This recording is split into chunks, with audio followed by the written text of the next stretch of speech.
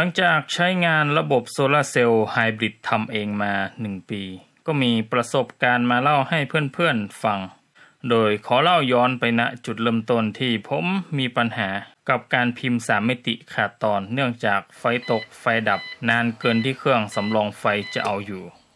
จึง DIY ทำระบบโซลาเซลล์ไฮบริดแบบ True Online UPS เป็นระบบสำรองไฟที่ดีที่สุด โดยเพิ่มการจ่ายไฟ DC 12 โวลต์จากแผงโซลาเซลล์เข้ามาช่วยชุดชาร์จแบตเตอรี่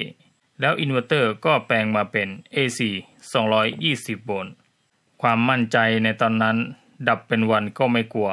แต่เอาจริงๆแล้วก็เจอปัญหาความร้อนจากไดโอดกันไฟย้อน ซึ่งจริงๆ ใช้ฟิวส์แทนก็ได้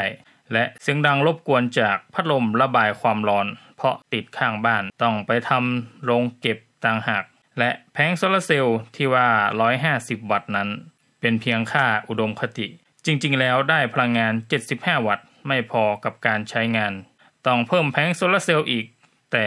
ถ้าจะปรับปรุงข้อเสียทั้งหมดนี้ คงหมดตัวก่อน จึงแก้ปัญหาชั่วคราวโดย ปรับมาเป็นระบบ Offline UPS ใช้ ATS สวิตช์สลับไฟอัตโนมัติมาติดก่อน ดูจากสภาพการเงินแล้วน่าจะติดยาว และเพิ่มกำลังผลิตไฟฟ้าด้วยคอนโทรลชาร์จ MPPT ที่เพิ่มประสิทธิภาพ 30%จากได้ไฟ 75 วัตต์มาเป็น 100 วัตต์ ชาร์จแบตเตอรี่รถยนต์ 60 แอมป์เต็มในวันเดียว การใช้งานถ้าเป็นวันไปทำงาน ใช้ไฟแค่ตอนเย็นก็ ปิดไฟจากการไฟฟ้า แล้ว ATS ก็จะสลับไปใช้ไฟจากแบตเตอรี่โซลาร์เซลล์ ใช้ทั้งคืนถึงเช้าได้สบาย และช่วงเวลาที่พิมพ์สามมิติก็เปิดไฟจากการไฟฟ้า ATS ก็จะปรับมาใช้ไฟจากการไฟฟ้า ถ้าไฟตกไฟดับ ATS ก็จะสลับไปเป็นระบบไฟสำรอง จากระบบโซลาร์เซลล์สามารถใช้งานได้ 6 ชั่วโมงในตอนกลางวันที่มีแดด และ 3 ชั่วโมงในตอนกลางคืน และในครั้งต่อไป เพื่อนๆอยากให้เนื้อหาดีกว่าเดิม สามารถแสดงความคิดเห็นว่าชอบส่วนไหน และควรปรับปรุงอย่างไร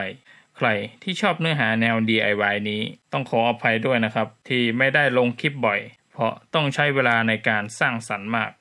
ถ้าเพื่อนๆอยากรู้ว่าเนื้อหาจะมาวันไหน สามารถกดติดตามและกดกระดิ่งไว้